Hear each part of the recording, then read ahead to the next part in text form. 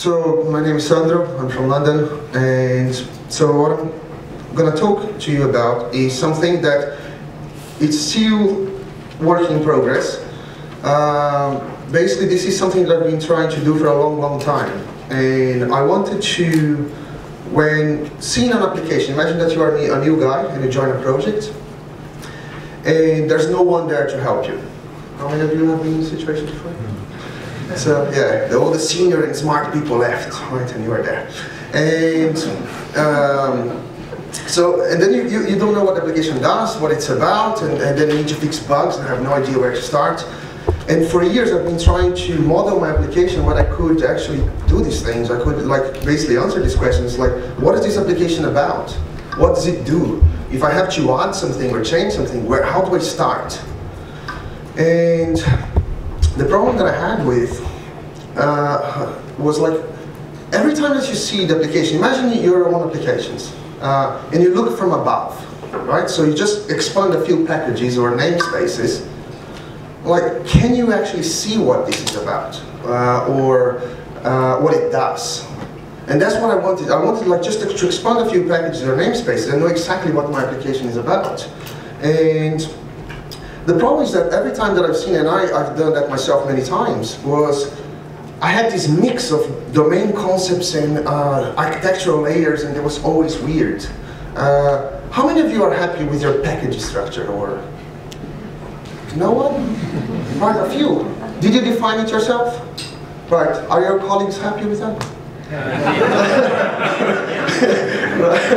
okay, because that's, that's the thing. I, I've, I've done I've decided the package structure many times, but I was the only one happy about it. Oh, well, not even me, not even I, I was not happy about it, so after some time. But anyway, so, uh, so this is one example that I'm talking about. So if you look at this, how many of you structure like that? So you have like uh, some controllers, DAOs, factories, helpers. Anyone? Right, yeah, some of you. But yeah, that's cool. We have controllers. Awesome, right? We have DAOs. What does it do? What is this about? I have no clue whatsoever. Right, and so another one, this oh, we need some domain there, right, to, to make some sense. And then start trying to combine domains and layers. And then you put either the domain in front of the layers, and then you have all these cluttered and duplication in one class per folder, or you do the other way around. You put the layers in front and domains, and then you have your domains scattered all over your, your layers. So yeah, in this case, yeah, I know that there are books and users in the system, but yeah, what does it do? And and then you have MVC, right? So, so wow, okay, let's organize that in model view controller. Wow, it's a web app, awesome. What does it do? Don't know. It's a web app that has controllers, views, and models. It's awesome, right?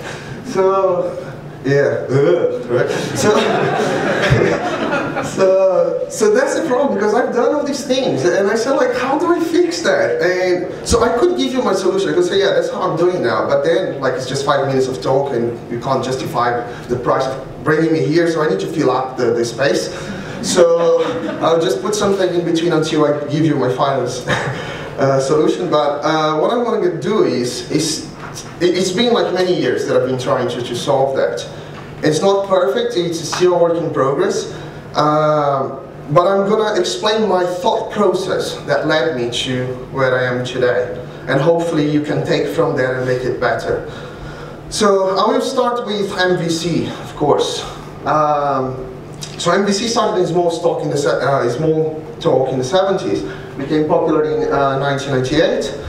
And, and, then after that, it became a general concept. And there are many variants or variations of MVC. So for one, some of you that work with Java and are old enough like me, that started in the 90s, and then you have like uh, Model 1 and Model 2 with servlets, JSPs, and stuff like that. And then you have loads of other variations like uh, MVA, MVP, MVVM, uh, and all sort of stuff. So what I've seen, I've seen many different implementations with all these uh, variants or variations of MVC. But quite often, the vast majority of them led to this. So everyone understands view, right? So we know what view is. So you have all our stuff in there that you can click and do stuff. And then you say, oh, model. All right, hey, I have some entities, so let's put the entities in there, right? And then you have all these classes with getters and setters or properties uh, in there. But say, wow, okay, now we need behaviors. Well, and uh, the, the V is done. The M is done, so yeah, let's put all the behavior in the controllers, and they have these fat controllers, like with hundreds of lines, right? Uh, and then, also because we use MVC frameworks, it's very coupled to, to our uh, MVC. So all these uh, variants of, uh, variations of MVC, they are, they are right, but they are also wrong, right? And, and the way I see it uh, is because it depends on the view, the view technology that we are using.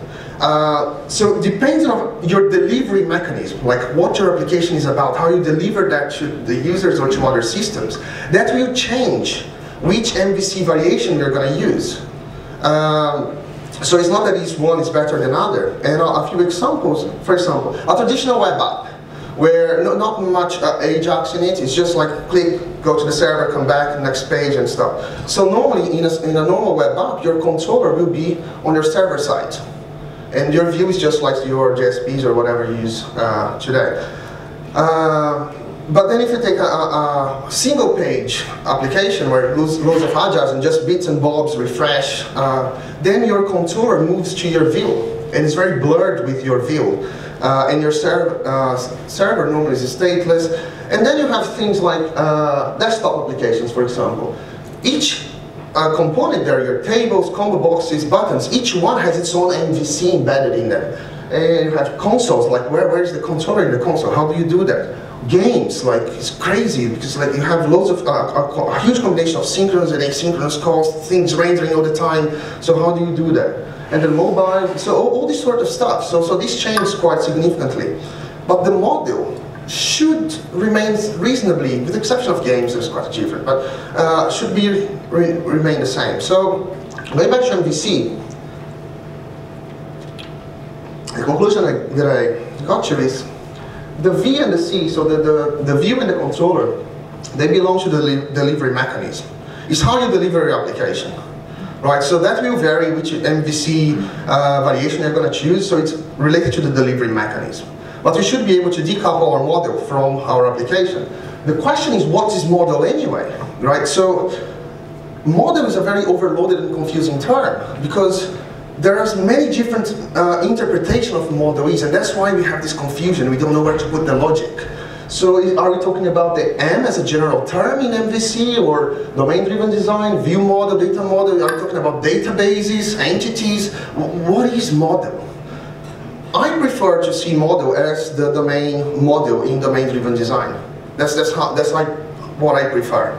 Um, and in the domain-driven design, uh, in the domain model, it's all about the behavior. And it talks about state as well. So you have like some building, uh, building blocks that have entities, value objects. So very briefly, uh, so entities are things that you care about the identity. So your user, your book, or whatever you, you, you, you have. Value objects are things that you care about what it is, but you don't care about the identity. For example, a book has a genre. Uh, for example, if it's an IT book, if it's a romance or a fiction. So you care about what it is, but you don't care uh, if the idea of the fiction is one or two. So you don't care about that. So it's a value object. Uh, then factories that you use to create complex uh, object graph uh, in your aggregate.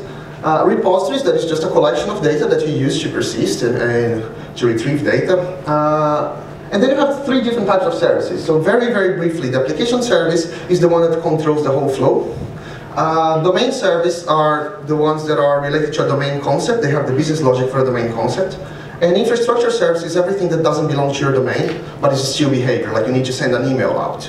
So that would be infrastructure service. Uh, and then aggregates, that is just a, gr a, group of objects. So for example, if you are, a, if you are building a, a trip uh, application, so you have a trip as the root of the aggregate, but the trip has days, uh, each day has location, location has photos, photos has comments, so the whole thing is an aggregate where the trip is a root. So that, that's, so we need to be able to decouple our uh, domain model. So that means that our M in MVC becomes a DM, a domain model. And then you have the infrastructure on both sides, where if I need to parse uh, objects or convert objects to JSON or XML, you do that in the delivery mechanism infrastructure. And if I need to send some uh, emails or, or in, in concrete implementations of your databases, uh, even parse XMLs, or sending to uh, messages, listening to, to like listening to queues, sending messages, So that would be infrastructure. So cool. So if we are able to isolate our domain like that and have a clear separation, then you have a choice. If our application is small, it's a web app, for example, you can embed your domain model into the same web application and then deploy together. So there's no reason to separate. You should have a clear separation, but you can deploy it together. But you have an option, because the option means if it's a clear separation, what you can do as you grow, uh, you can have, you can extract your domain model, wrap it with architecture or uh, with infrastructure, and have it deployable. And then you have a choice to, to serve it the way you want, via web services, via queues. And this, if you think about it, as you wrap your domain model with infrastructure, you are very close to the hexagonal architecture, if you are familiar with that. So in the, in the infrastructure layer, there's wrapping your domain model, is where you would have your ports and adapters. But your domain model is always protected, and you have a choice of how to provide that, to, uh, how to expose that to the external world. You can even do that. You can have like the whole thing uh, event-driven if you wanted to. Um, so, so yeah, as soon as it's decoupled, it can start together with your application, embedded, but if you have a clear separation, start having options. So that's, that's the message. So let's talk about what is in the domain model. Let's explode some of these uh, things. So that's where I tweaked some of the domain-driven design concepts and I added a few things. So everything starts with an action. So what it, it means is, the action is all the actions that my system performs, or most importantly, is what the external world, being my web app, being another system, being a mobile client, is the, uh, they are the actions that the external world expects my system to perform. So I start from outside, what people want from my domain model, and that would be an action. So the action will talk to the domain layer. So the action is the entry point to my domain model. The action will delegate, because to complete an action, you may have multiple steps. And so the action is just controlling these steps, and, and each step is delegated to its own domain service. A domain service is an entry point to a concept. So actions is an entry point to my entire domain. A domain service is an entry point to a domain concept. For example, if you have a book and users, I will have a book service, a user service. So every time that I need something from books, I will go to the book service. So that's the domain service. So the user, I go to the user service. So I split the, the domain concepts and they have this entry point. And then I can have repositories. Repositories is an interesting one because like the, I don't treat repositories as first class citizen. I don't I treat repositories as helper classes to my domain services. I don't expose them to other domain services. So that means that domain service 2 would never go across and, and fetch data from uh, repository 1 like if I need from one class, uh, I need data from repository one, I would go through the domain service. So that this way I, I minimize the coupling between the domain concepts. So it's just a helper. Um, and then I have the, the service, uh, the infrastructure services. Normally the implementation of infrastructure services and repositories will be in the infrastructure layer. It's still a bit confusing of what the, where the behavior goes right? And, and the way I think about it is, actions is, as I said, defines what my application does. Normally triggered by an external necessity. Like we look at our use cases, and, and to go through that user journey, I will need my domain model to perform a few actions. So that's where I come. I come from outside. So okay, I need actions to perform this, to execute the entire use case. Um, so that's what it's going to do, but it's a very thin layer. It will just delegate, it will just control the flow. The domain service, I'll talk about entities first, because as you've seen, I don't have entities in some of my diagrams, I probably won't have them anymore. I also don't treat entities as first-class citizens. So that's one change. I don't model my domain with entities. I model with behavior. And I will talk more about that. But what goes in an entity is just the behavior that is related to the state of that entity. So if the entity has some data, is a user, I could go to the user and say, are you uh, a prime user? Or, I don't know, whatever, are you over 18 years old? This sort of stuff. So that behavior is just related to the data that the entity has. As soon as the behavior, any behavior that goes across multiple instances of the same entity or instances of different entities, that behavior would go to a domain service. So whatever doesn't really fit into an entity goes to a domain service.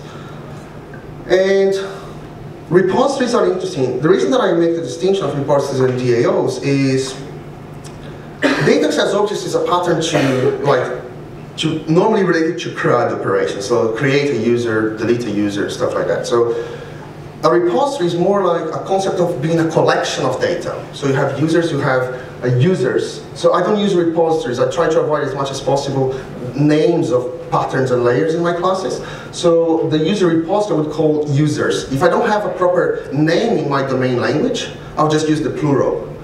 But for example, depending, if we have books, depending on how our domain and how our product owners talk about these things, they may call a collection of books as library. So my repository would be called library or book collection. So it wouldn't be book repository because that doesn't really make sense. Um, and then, they, then you can have whatever implementation you want. If it's an Oracle implementation for one, a MongoDB for another, so it's up to you. I think that an example probably would be good, right? because it's, it's, yeah. So let's try to, to choose to have like something slightly more concrete. Imagine that someone in the website added some books to the shopping cart and say, okay, I want to pay. So, so the web layer, there's your delivery mechanism, is taking the user through the journey. But the actions are performed by domain vault. So one of the actions is make a payment. So that's the entry point to my domain. So one of the first things that the make a payment can do is to delegate, uh, ask the user account service, like, is this guy valid? Is it a prime user or something like that? And then that may go to its own repository and check some stuff. Comes back. So as you see, the, the action is controlling this flow. Then it said, okay, now go to the payment gateway that is also a domain service and say, pay that. So that the payment gateway can delegate to uh, a validator, there's a normal class that can validate that um, payment data, and then goes to a, an infrastructure service and say, process this card, and that's an interface. For that, I may have implementations in my infrastructure layer, that is my Amex processor, my Visa processor, MasterCard processor, this sort of stuff. And then domain services can talk to each other as well. So the payment gateway could potentially speak to the order service and say, now okay, it's all paid, all done. You store this order for history and stuff. And then goes back to, to the make a payment. So everything was done, send a confirmation email out by this interface. The implementation will be your SMTP email sender, whatever it is. So that's how these things uh, work. And I'm, I'm modeling from outside to the inside. So an interesting thing about this is the execution flow. Think that you have an input. And this input can come from your mobile app, can come from your uh, website, can come from a different application, from a, a, queue, from a web service, whatever, right? So that's your input. And then you have a first, the first class that you handle this input. I'm, I'm putting a C as a controller, but could be a message listener or whatever. So, and then it delegates uh, to the action and domain service and repositories, and, and then the code branch as well. So you can have this class doing some stuff. But the interesting thing about these is, in my view, and I couldn't prove this wrong yet, uh, but I don't like to say there is a rule, because there's always an exception to any rule. But what I noticed over the years is that the classes that are closer to my input, they represent uh, high-level concepts and they don't normally do anything specific. They normally should just delegate to other classes and control the flow. And then as we get closer to the right end, closer to your output, the responsibility of the classes become more specific, because uh, more low-level concepts. So while you have a make a payment in, in, in on the, the left-hand side, here you have a create user, parse and XML. So it's very, very specific and has less delegation. And if you want into test-driven development, so this is an interesting uh, way to think about when to mock and when not to mock. External dependencies you always mock. Like so your database you're going to always mock. Uh, but somewhere in between, the way that I think about it is, if the classes are closer to the left, their core responsibility is to delegate, is to control flow. So it's important that I test the interaction with other classes. So yes, I will mock and spy you know, the, the, the collaborators because that's the core responsibility of the class under test. As the, the, the, the, execution flow or the classes are closer to the end of a code branch or to my output, naturally they won't do many uh, much delegation anyway. That means they won't have many collaborators anyway, and I can use class code TDD to do whatever it does, and I don't need to mock because there's no delegation and collaboration, because they are more specific towards the right. Uh, a few guidelines that I have. Um,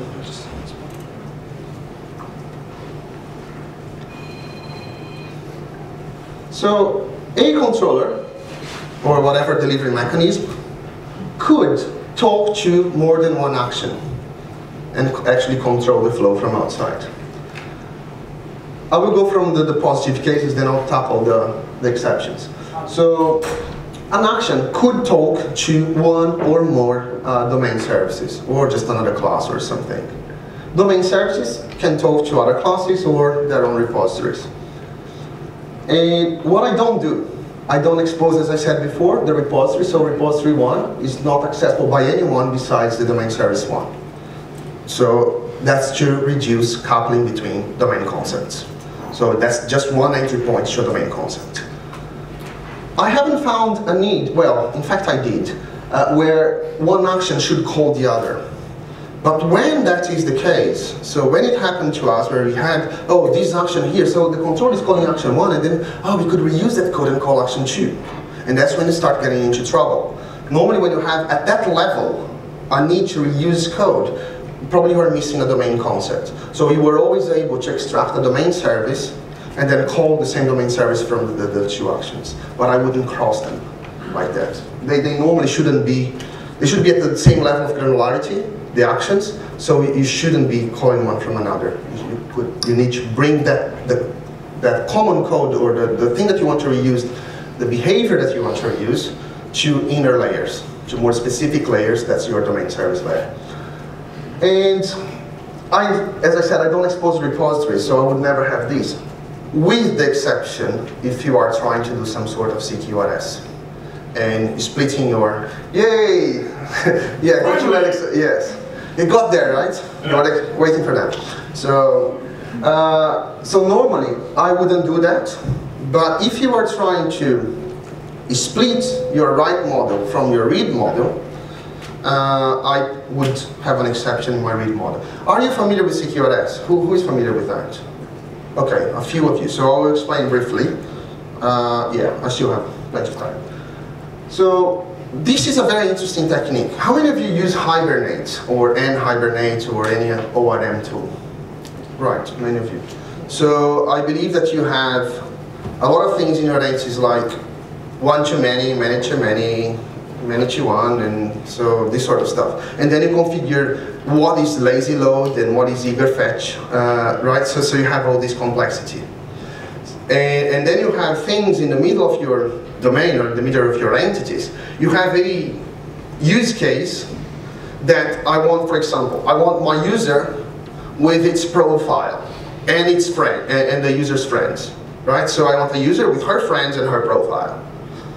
So yeah, then I will configure this one-to-many, one-to-one, and eager fetch, and all this kind of stuff. But then there is another case where I want the, the same user, but now with her trips. That has photos and comments and stuff. And then you have every single entity in your domain is, is attached to each other. And then you fetch one, you fetch the entire database into memory, right? That's kind of crazy stuff. And then you never know what is eager load and eager fetch because like each use case needs a different part. And the only reason that you have all this madness is because you want to read data. You want to fetch this data and display it together in the same page. But to write, very rarely, unless that is slightly badly designed, or very specific case with data entry, uh, but that's a different story, I won't go there because there's a solution for that as well. Um, normally when you are writing, that means you are inserting, you are deleting, you are updating. You normally update one domain concept at a time. You would never update a user at the same time that you update this, the books that that user bought and the comments. Right? So you don't do that. You're doing different steps. But when you want to read, I want the user with the books and the comments to be displayed. So what you do is, when you, so you split your domain into, it's warm, isn't it? Yeah, I'm hot as well. so, uh, yeah, I'm looking at all of you. So, if, if you do that, if you split your write and read domains, your write domain will be extremely simple. You won't have a single entity that has any responsibility, uh, any relationship. All that kind of bollocks that we have with Hibernate and much more goes away. It dies. You don't need that at all. How awesome is that? How simple that everything becomes. And then you say, yeah, but I need to query. And I need to have all this data combined. Also, you know what you do? Have an action, go straight to the database, do a join, and bang, you have a full object denormalized display on the page. How simple is that? How awesome. Then you have an application with almost zero complexity, just because you sorted your persistence. So that's CQRS in a nutshell, and that's why I would have an exception uh, in, in the, the repository here, because that's a denormalized. You could go all the way. It doesn't need to be like that. So when you start and you start small, both your uh, write model and read model could go to the same database. I don't see any issue with that. If you want to scale and grow, blah, blah, blah, you could split. Then you could have your write model. Every time that an action happens in your write model, uh, you throw an event. So a user was created, a book was added to a shopping cart, or a payment was ready. So what's that? I'm not going to have anything to explain anymore. Oh, right, yeah, sorry. Yeah, I'm just... well, if you want to know more about that, go to... to I'll, I'll, i need to go through loads of slides anyway, so hold your questions for a minute and I'll get to you. So yeah, so that's the advantage. Yeah, so if you want to know more, go to Eric session. Cool. Uh, right, we, we talked about all of that. How do we solve it? Right, what the original question? So we went off on a tangent here. So, right. Uh, yeah, I was distracted now. So, what, what I've done was, I have this notion of delivery mechanism and core domain. When I'm starting the application, it's too small. I don't need to create different modules and, and because it's a pain in the ass, right? As soon as you have sub-modules and you, you have different projects, they're deployed separately, you change in one, you change the other, it doesn't compile, it's kind of pain. So basically what I've done, and I start very small, I just create a new source folder. I go to Maven or whatever, SBT or whatever you're using, and I just create a new source folder. One I call core, the other one I call web but they are under the same project to start with, because then everything is easy, test quickly, everything else. But I create, I create this uh, separation at the very root of my project. And if I want to evolve, I can take the core and move to a new uh, project or module later on. So what is inside? As soon as I open, so if I have, let's take the web to start with. I don't care much about because that's the delivery mechanism that will be different from what I, with whatever you do. But normally I will have my controllers, some infrastructure, and the view. In my core, I will have three main packages. I will have my infrastructure, I'll have my model, and I will have my actions. That's, that's how I normally split. I will show you what is in there. So the web is my delivery mechanism. And your delivery mechanism is responsible to control the user journey. It's your delivery mechanism that you take the user through a journey. Search a book, add to the shopping cart, make a payment, and the sort of stuff, right? Choose the, the, the delivery address and stuff. So the, the, the delivery mechanism does that. But each action is delegated. So that means that your controllers should be thin, two, three, four lines maximum. If you have four lines, it's like, oh my god, there's something wrong, right? So Controller should just control it. View send a request. Controllers already know what it is because we configure the controller to, to uh, handle certain requests. Controller said, cool, I was called by the view. Action, do your job. And then your domain model will do all that kind of good stuff. Return something. And then, okay, now the domain model returned me this. And according to what was returned, display this view or the other view. Or the same view or another view, right? That's the role of controller, nothing more. Right? Controllers, three for lines, right? Uh, infrastructure, you may have like JSONs and XML parsers and converters and stuff, so that goes to the delivery mechanism as well. It's a specific to your delivery mechanism, it's not a, a, a domain concept. Unless that you have the domain module uh, deployed separately and is part of the API that you provide JSON and XML, so that would go to the other side.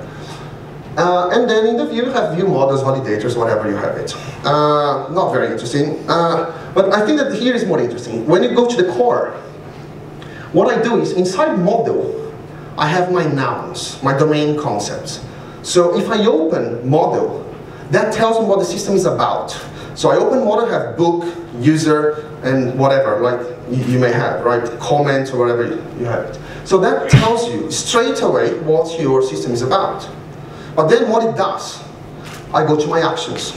If I expand my actions uh, folder, then I have all the actions that my system performs. And that tells me what the system does. And that's a very simple uh, application. Where am I? How am I going for time? Uh, that's a very simple application. That's normally how I start.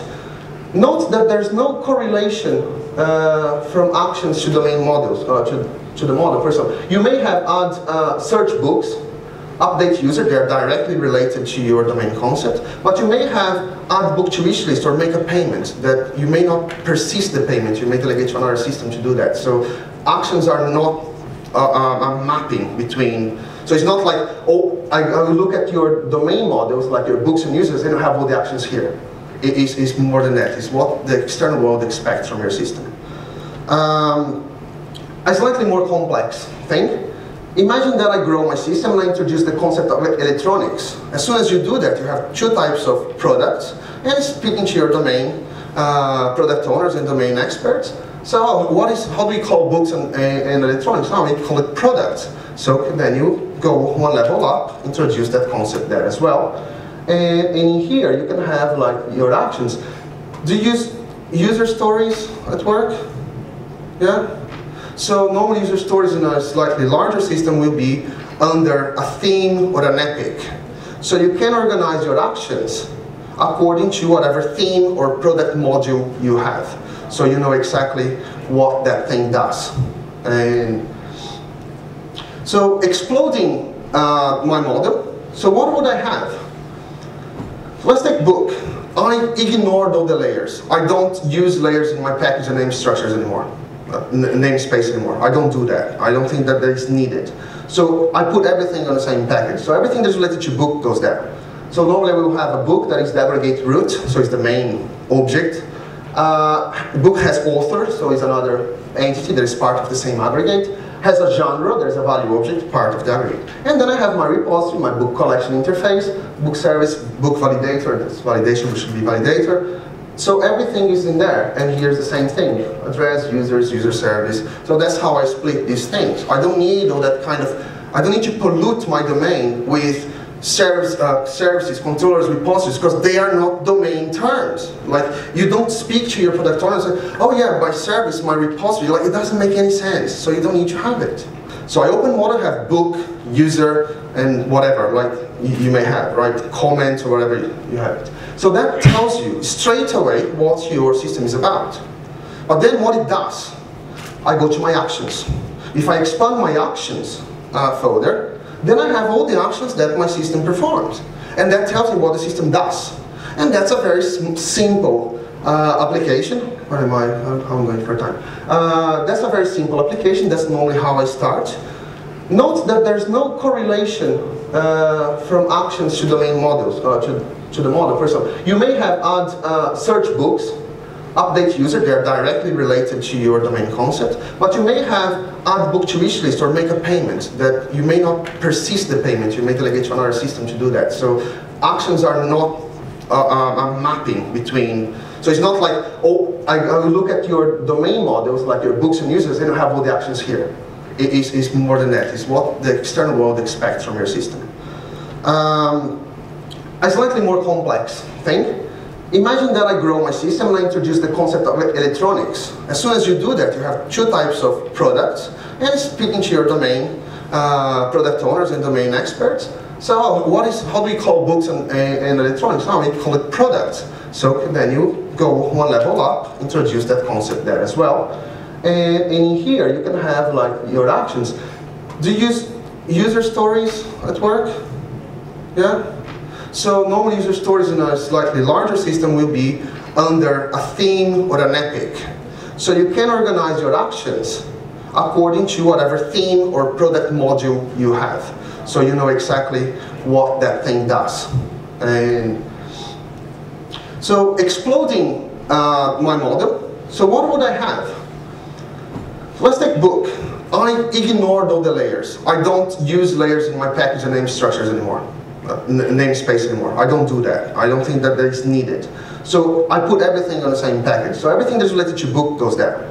So normally we will have a book that is the aggregate root, so it's the main object. Uh, book has author, so it's another entity that is part of the same aggregate. Has a genre, there's a value object, part of the aggregate. And then I have my repository, my book collection interface, book service, book validator, that's validation, which should be validator.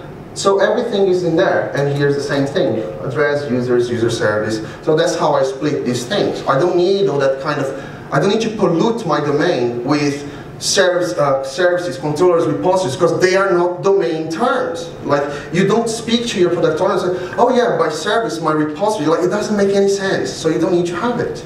Right? You just enforce that with education, pair programming, so talking to your team and reach an agreement. Right? You don't need to enforce by you can't enforce that anyway. Uh, infrastructure. So here in my model, I would have like a credit card processor, an email sender, and in my infrastructure, I'll have my SMTP email sender, I'll have my Amex processor, as I said, I'll have my Gigaspace users, MongoDB, so everything that is infrastructure. The, normally the interface belongs to your domain, the implementation is infrastructure, you can switch that if you want.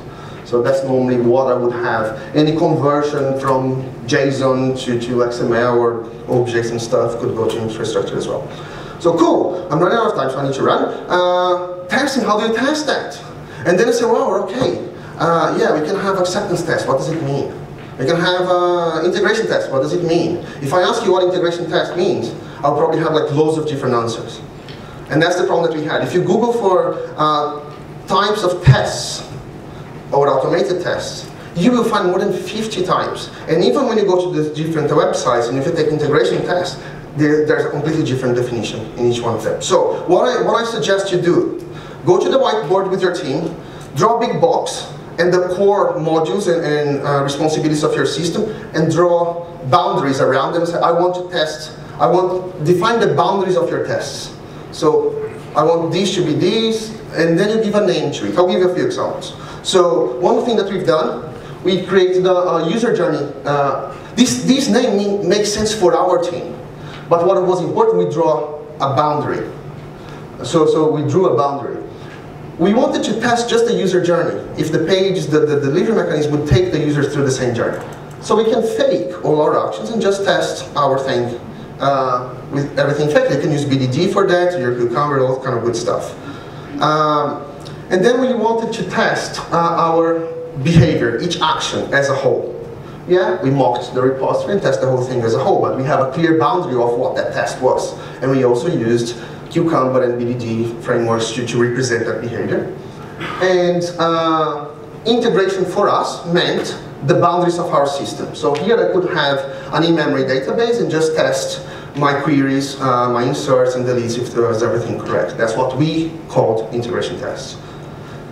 We had uh, unit tests. So unit tests, because like I prefer to do mocking and London style outside in, normally would be for each class and having uh, mocking all the collaborators and spying on them. Uh, and then we had like a handful, like three, four end-to-end tests that was the whole thing deployed. This, the, the reason of this is just to make sure that the application was wired correctly. Can I just choose a random, probably the most important use case that you have, just make sure that you go from the input to the output, but you don't need to test uh, details. You just say, is it up? Is it all wired? So that runs, uh, okay. So, of course you need to give a name to things, right? This is, you need to have a name just because you need to have a name. And so, we are using, for now, like we have been spoken to the guys in, in, in my own company, and so we are calling this approach uh, interaction-driven design because it needs to be DD, right? It needs to end with DD, otherwise it's not cool. Uh, or it needs to be a Japanese word. Either it's DD or a Japanese word, otherwise it's not cool. So, so see, the, the, the interesting thing of this approach is that we are designing our code from outside to the inside. That's a key difference. So that we design our code with the same uh, the, the same direction of the execution flow. Um, but one interesting aspect are the entities, as I said. I don't have almost any entities anywhere in my diagrams. Because I don't treat entities as first-class citizens. It's not that I don't treat them. for me, I focus on the behavior. So what I'm doing, I'm making a payment. I'm cre creating a user. I'm searching for a book. So that's the action. And as I implement the action, these data structures will emerge, emerge to satisfy that behavior. So when you see people modeling their systems, uh, modeling their systems, say, okay, let's have a domain model session or a domain-driven design session. And then what they do, they draw entities, right? One entity, this entity relates to this entity, this has a one to many, blah, blah. And then what you end up with, you end up with a, a static representation of your data. But what does it do? Why do you need that, all these entities and that relationship? What, are, what, what is the problem that you're trying to solve? So a data model or an entity model is not very good. It is not enough. And I don't think that is the right way to do things. I think we should model the behavior and then let the data structures emerge. You may not need, because when you do, you just focus on the, on the entities, you end up creating concepts that may not be used or may not even fit from the, the, the behavior that you need. Uh, another thing that is very important, a class shouldn't be modeled on its own. So you, you shouldn't do like, oh yeah, I, I think that I need this behavior or this data structure. Then you create a class and you put some public methods in there that may someone may call it. That's wrong. That leads you, you won't gonna need it, like the Yagni, or over-engineering a class should always be modeled from the client's perspective. Think about the class that wants to use that behavior. So coming from outside, before I, I define this class will do all this, no, no. Figure out that there is a class somewhere that has a need for a behavior. And then you map that behavior. So you define the APIs of a class always from the client's perspective and not from the class perspective, because you have no perspective just being the class. Right, so, so that's, that's normally how we are designing things. So going back, because I need to wrap up, so how do I answer the, yeah, I have no time whatsoever, I'm, I'm going to stay here for another, another bit more. So, uh, how, how, do, how, do I, so how do I solve the, the other questions? So if I join a, a, project now, and there's no one, or even I need to fix a bug or, or find something, I go to my model, expand that, I use nouns, so that tells me what the system does, uh, that what the system is about. If I go to my actions, I expand that, I know what my system does. And that will lead me through the path that I need to find whatever bug. That gives me a clear, uh, clear places for me to put the behavior. If I want to add more behavior, I know exactly where I should go and that maps the whole thing much much better and I could uh, well I find it much easier to work this way. So it's easier to talk to the business as well and model the business. So yeah that's what I had to say. So yeah thank you.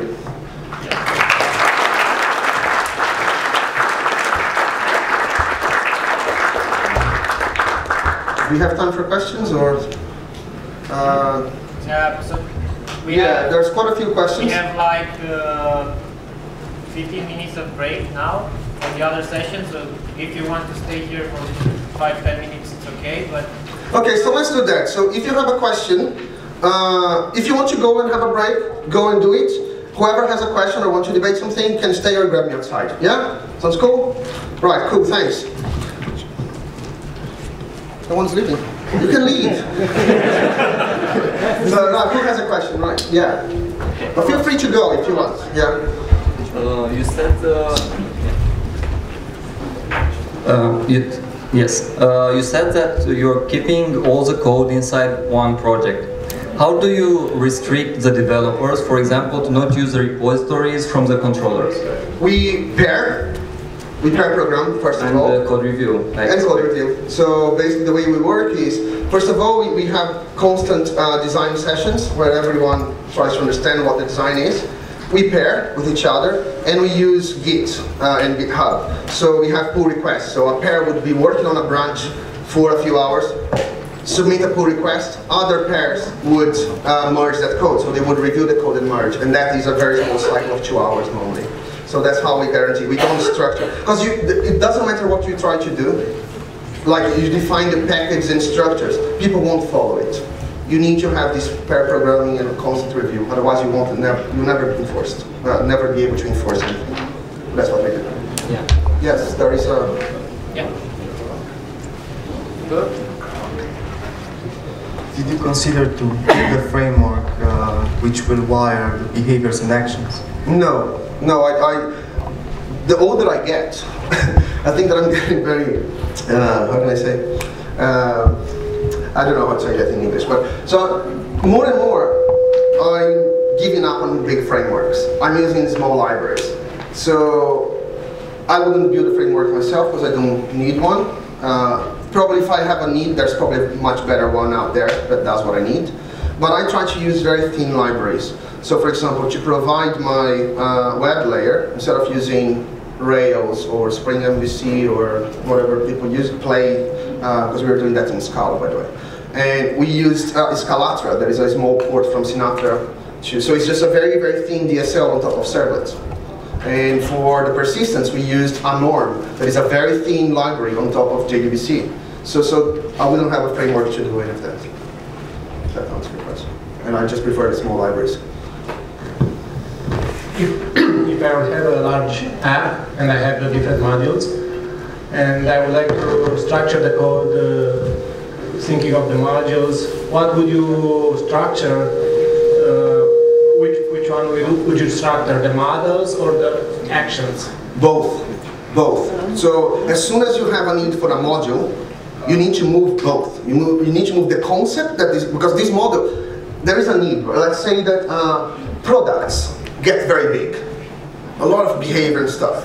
Where user accounts and whatever else in here is not related, or payment is very different. So as these models grow out of proportion, you take the actions and the domain concepts and extract them out, and you have the same structure somewhere else. So I might have a, a module uh, vendors and the module products at the end, but how do I do when I have to integrate both of uh, them?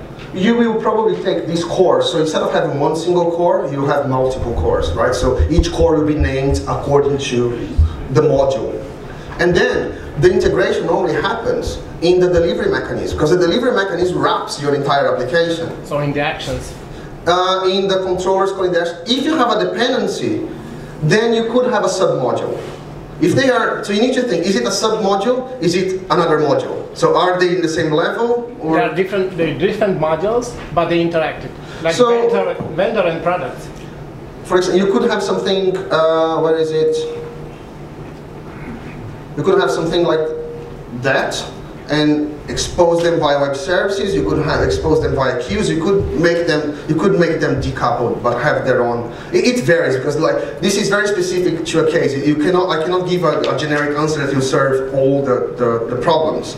But what I would try my best is to keep them decoupled if they are separate modules and minimize the interaction that they have the way whatever, if it's via queues, it's via web services, or, or if both modules are integrated into the same app, but it's controlled by the delivery mechanism and all. So, but it's difficult to, without having a concrete example and, and knowing more. I cannot give a single answer that will satisfy everyone. okay Last question. How do you use uh, TDD by the book? I'm not quite sure what TDD by the book means. Uh, which book, right?